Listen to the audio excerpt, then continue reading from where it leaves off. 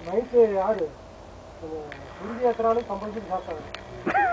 மற்றபடி நார்மல் ஆளு வந்து கம்மியாக தான் சாப்பிடும் தண்ணி சார் வழி வருதுன்னா வயிறு வருது அதனால தான் இந்த ட்ரிங்க் சாப்பிட்டு பார்த்தீங்கன்னா வயிறு போயிட்டு நைட்டு போட்டு என்ன பண்ணுறாங்க சாப்பிட்டு